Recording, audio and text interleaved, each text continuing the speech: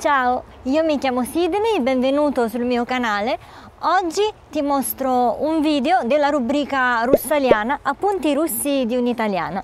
Tra le varie cose che ti voglio mostrare nel mio blog ci sono alcune parole che normalmente non troveresti nei manuali di lingua russa e la parola della quale ti parlo oggi è Yebigna.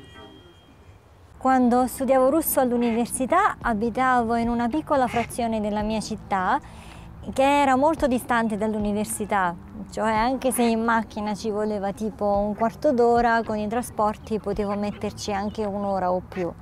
E ricordo che durante una lezione di russo imparammo delle espressioni um, per dire che, che, abitavamo molto lontano. E l'espressione che imparai allora era Uchorta Naragah Uh, soltanto poco tempo fa, uh, stando già qui in Russia da molti anni, ho scoperto che Uchorta Naragach è un'espressione uh, che appartiene a un registro molto più alto di quello che in realtà io avrei voluto dire quando volevo dire che abitavo in culo al mondo.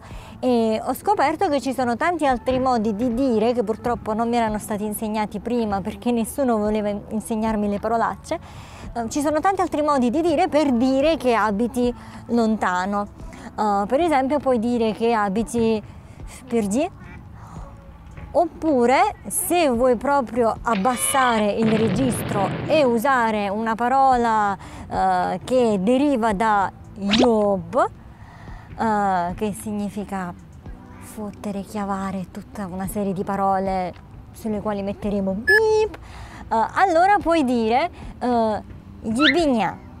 Ghibigna appartiene a un registro molto molto basso uh, ed è forse perfino troppo fine tradurlo come il culo al mondo. Troviamo la definizione di questa parola sul dizionario online slang.ru che dice Глухое и, как правило, удаленное от благоустроенных территорий место – Esempio, заснул в троллейбусе,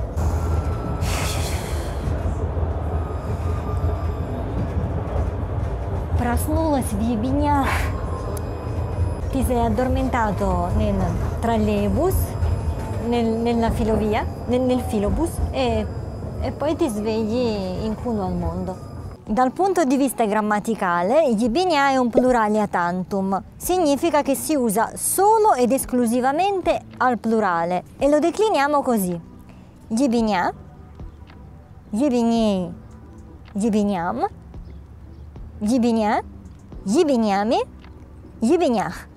Proviamo a fare degli esempi con i casi che abbiamo appena visto. Per esempio, con il caso accusativo possiamo dire Paiechet Yibinia oppure con il caso prepositivo жить в ебенях.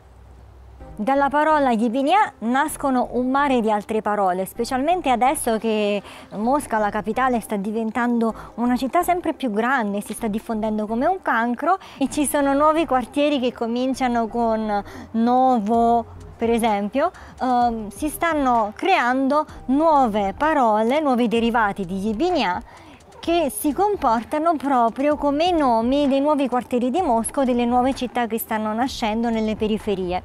Per esempio, da Вики Словарь, Малая Ебеня, Новоебунова, Новоебень, Новоебенева, Ебенцемс, Ебеняй, Поебенишкес,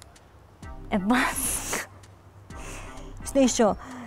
Ебехова, Ебатенко, Епшины, Ербалова, Неебуха, Неебуха, eccetera, eccetera. Sebbene Yebenia sia una parola del registro volgare, una parolaccia fondamentalmente, negli ultimi tempi c'è stata una sorta di romanticizzazione della Yebenia e questo grazie alla nascita di alcuni gruppi eh, su Facebook e pagine su Instagram che celebrano questi luoghi remoti, desolati e magari un po' bruttini, mostrando eh, la loro estetica, cioè il fatto che possano essere tremendamente brutti e nella loro bruttezza tremendamente belli.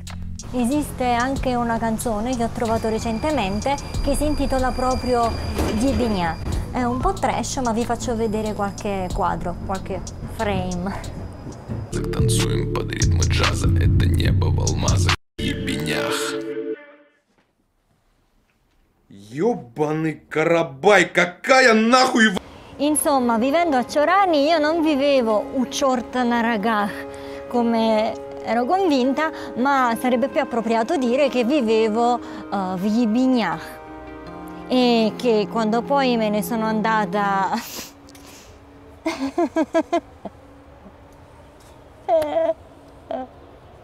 E ok, no, non vivevo Ucciorta Naragah come ero convinta, ma più propriamente Yibignah. E trasferendomi poi a Mosca uh, ho finito per vivere proprio nella Yibignah della Yibignah. E tu in che Yibignah vivi?